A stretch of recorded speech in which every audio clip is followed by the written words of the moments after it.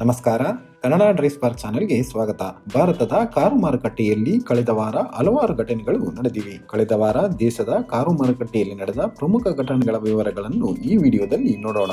ಆಡಿ ಕಂಪನಿಯು ತನ್ನ ಎ ಫೋರ್ ಸೆಡಾನ್ ಕಾರಿನ ಉತ್ಪಾದನೆಯನ್ನು ಔರಂಗಾಬಾದ್ನಲ್ಲಿರುವ ತನ್ನ ಉತ್ಪಾದನಾ ಘಟಕದಲ್ಲಿ ಆರಂಭಿಸಿದೆ. ಆಡಿ ಕಂಪನಿಯು ಎ ಫೋರ್ ಕಾರನ್ನು ಸಿಕೆಡಿ ರೂಪದಲ್ಲಿ ಮಾರಾಟ ಮಾಡಲಿದ್ದು ಶೀಘ್ರದಲ್ಲಿಯೇ ಈ ಕಾರನ್ನು ದೇಶೀಯ ಮಾರುಕಟ್ಟೆಯಲ್ಲಿ ಬಿಡುಗಡೆಗೊಳಿಸಲಿದೆ. ಮಾರುತಿ ಸುಜುಕಿ ಕಂಪನಿಯು ತನ್ನ ಬಿಎಸ್ಎಕ್ಸ್ ಡೀಸೆಲ್ ಇಂಜಿನ್ ಕಾರುಗಳನ್ನು ಮುಂದಿನ ವರ್ಷ ದೇಶೀಯ ಮಾರುಕಟ್ಟೆಯಲ್ಲಿ ಬಿಡುಗಡೆಗೊಳಿಸುವ ಸಾಧ್ಯತೆಗಳಿವೆ.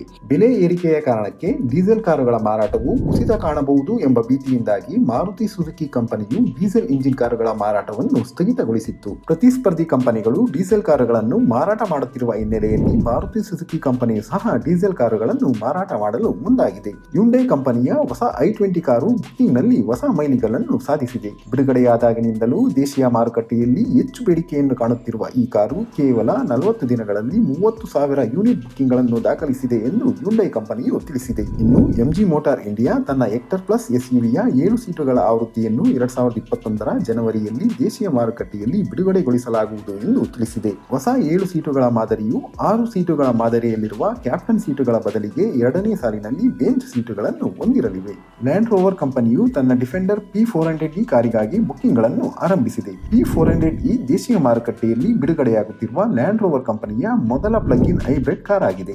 ಡಿಫೆಂಡರ್ ಪ್ಲಗ್ ಇನ್ ಹೈಬ್ರಿಡ್ ಮಾದರಿಯನ್ನು ಆನ್ಲೈನ್ನಲ್ಲಿಯೇ ಬುಕ್ಕಿಂಗ್ ಮಾಡಬಹುದು. ಈ ಎಸ್ಯುವಿಯನ್ನು ಎರಡ್ ಸಾವಿರದ ಇಪ್ಪತ್ತೊಂದು, ಎರಡ್ ಸಾವಿರದ ಇಪ್ಪತ್ತೆರಡರ ಹಣಕಾಸು ವರ್ಷದ ಮೊದಲ ಭಾಗದಿಂದ ವಿತರಿಸಲಾಗುವುದು. ಆಟೋಮೊಬೈಲ್ಗೆ ಸಂಬಂಧಿಸಿದ ಮತ್ತಷ್ಟು ಸುದ್ದಿಗಳಿಗಾಗಿ ಕನ್ನಡ ಡ್ರೆಸ್ ಪಾರ್ಕ್ ಚಾನಲ್ ಅನ್ನು ಲೈಕ್ ಮಾಡಿ ಶೇರ್ ಮಾಡಿ ಸಬ್ಸ್ಕ್ರೈಬ್ ಮಾಡಿ.